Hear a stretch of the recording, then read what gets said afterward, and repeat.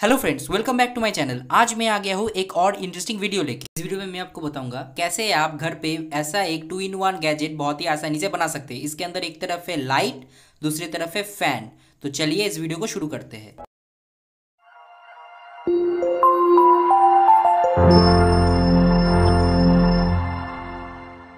सबसे पहले चाहिए हमको ऐसा एक बॉक्स एक सिक्स वोल्ट का डीसी मोटर एक फ़ैन का ब्लेड और कुछ एलईडीज एलईडीज के बड़े वाले लेंगे प्लस और छोटे वाले माइनस हमको चाहिए ऐसे रोटेबल स्विच इन स्विच का कैप ऐसा रिचार्जेबल बैटरी एक माइक्रो यूएसबी पोर्ट एक ऐसा चार्जिंग सर्किट ऐसा फ्लेक्सिबल पाइप और ऐसे खराब एलईडी का स्ट्रिप जिससे हम फ़ैन को मजबूती दे सके। सबसे पहले हम बॉक्स ले लेंगे और बॉक्स के ऊपर पाइप सामने दो स्विच और पीछे माइक्रो यूएसबी पोर्ट लगाने के लिए जगह बना लेंगे। अब हम मोटर ले लेंगे और मोटर के एक पॉइंट पे एक ब्लैक वायर और एक पॉइंट पे एक रेड वायर कनेक्ट कर देंगे। अब हम पाइप से ऐसा एक टुकड़ा काट लेंगे और उसके बीच में एक होल बना देंगे, जिससे कि हम हमारा मोटर को इसके अंदर अच्छी तरह से फिट कर सके और उसके ऊपर लगाने के लिए हम एक कार्डबोर्ड का सर्कल ड्रॉ करेंगे और उसके बीच में भी एक होल बनाएँगे और इन सबको हम ग्लू गन की मदद से अच्छी तरह से मोटर के साथ फिट कर देंगे। अब हम कार्डबोर्ड से ही एक ऐसा सर्कल बनाएँगे और उस सर्कल के अंदर एलईडीज लगाने के लिए मार्किंग कर लेंगे।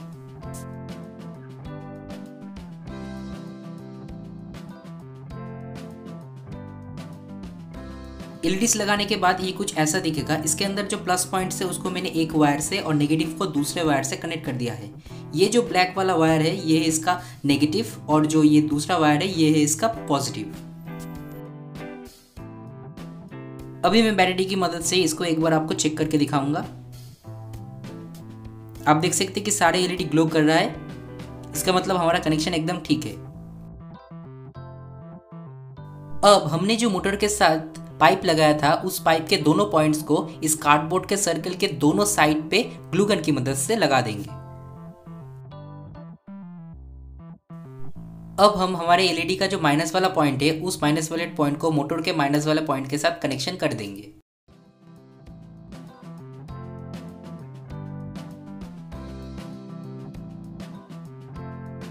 अब हमने जो खराब एलईडी के स्ट्रिप्स रखे थे, उन स्ट्रिप्स को हमें मोटर के बीच वाले जगह में अच्छी तरह से ग्लूगन की मदद से लगा देना पड़ेगा। इसको लगाने के बाद हमारे मोटर को मजबूती मिल जाएगी।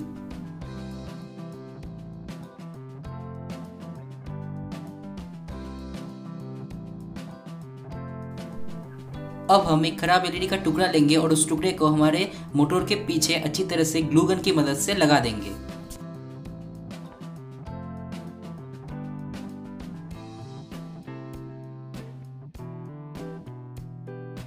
ये अच्छी तरह से चिपक गया है। अब हम फ्लेक्सिबल पाइप ले लेंगे और उस फ्लेक्सिबल पाइप के अंदर से जो हमारे एलईडी स्ट्रिप्स है और वायर से उनको हम निकाल लेंगे। इसके लिए सबसे पहले हम सब चीज़ों को एक साथ सेलोटेप लगा देंगे। उसके बाद फ्लेक्सिबल पाइप के अंदर से इसको डाल देंगे। उसके बाद ग्लूगन की मदद से अच्छी तरह से अपनी जगह में फिक्स कर देंगे।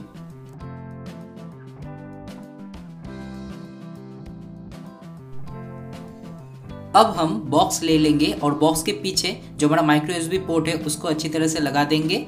और अब हम स्विच ले लेंगे और दोनों स्विच के एक एक पॉइंट को हम एक वायर के साथ अच्छी तरह से कनेक्ट कर देंगे।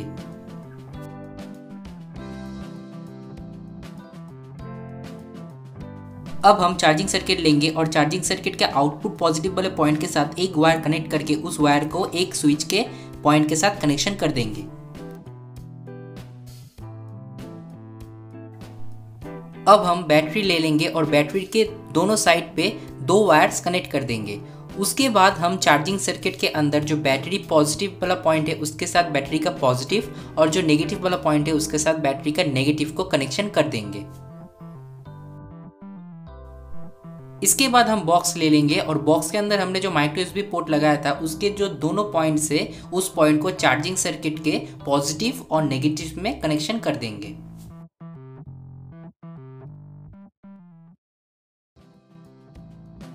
अब हम फ़ैन ले लेंगे और सबसे पहले फ़ैन को बॉक्स के अंदर से अच्छी तरह से डाल देंगे और इसको लगाने के बाद इसको अच्छी तरह से ग्लूगन की मदद से अपनी जगह पे फिक्स कर देंगे। उसके बाद हम इसका कनेक्शन करेंगे। सबसे पहले मोटर के अंदर से जो पॉजिटिव वायर आ रहा है, उसको एक स्विच के साथ कनेक्शन कर देंगे। उसके बाद एलईडीज का जो पॉजिटिव वाला पॉइंट है, उसको दूसरे स्विच के साथ कनेक्शन कर देंगे। अब जो नेगेटिव वाला पॉइंट है, उसको हमारे सर्किट के अंदर जो आउटपुट माइनस वाला पॉइंट है, उसके साथ शोल्डरिंग कर देंगे।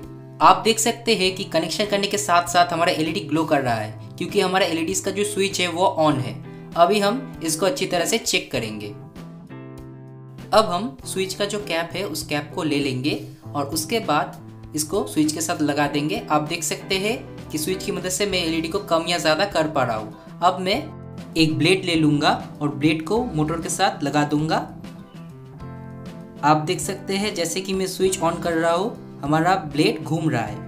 यानी कि हमारा कनेक्शन एकदम ठीक है। अब इसको अच्छी तरह से हम बॉक्स के अंदर अपनी जगह पे फिक्स कर लेंगे, फिर इसको हम फाइनल चेकिंग करेंगे। आप देख सकते हैं कि हमारा प्रोजेक्ट एकदम रेडी हो गया है। इसके नीचे मैंने कार्डबोर्ड का टुकड़ा लगा दिया है। अब मैं इसका ब्लेड को लगा दूँगा और इसके बाद इसको चेक करेंगे। सबसे पहले मैं इसका फ़ैन को टेस्ट करूँगा। आप देख सकते हैं मैं स्विच घुमा रहा हूँ और इसका फ़ैन का स्पीड धीरे धीरे बढ़ रहा है। इसी तरह इसका एलईडी का जो स्विच है, उसको घुमाने से इसका एलईडी जलेगा और धीरे धीरे उसका ब्राइटनेस भी बढ़ेगा और स्विच को दूसरी तरफ़ घुमाने से एलईडी धीरे धीरे डिम हो जाएगा। आप अगर चाहे तो एक टाइम पे सिर्फ़ इसका एलईडी या सिर्फ़ इसका फ़ैन को भी चला सकते हैं। अगर आप चाहे तो दोनों चीज़ों को एक साथ भी चला सकते हैं। अगर आपको बैटरी का बैकअप ज़्यादा चाहिए तो आप दो या तीन बैटरी का भी इसके साथ यूज़ कर सकते हैं। अगर इस चैनल पर नए हो तो ऐसे इंटरेस्टिंग वीडियो पाने के लिए चैनल को सब्सक्राइब कर दीजिए और बेल बटन को ऑल पे सेट कर दीजिए। अगर ये वीडियो अच्छा लगे तो वीडियो को लाइक कर दीजिए। मिलते हैं अगले किसी वीडियो में।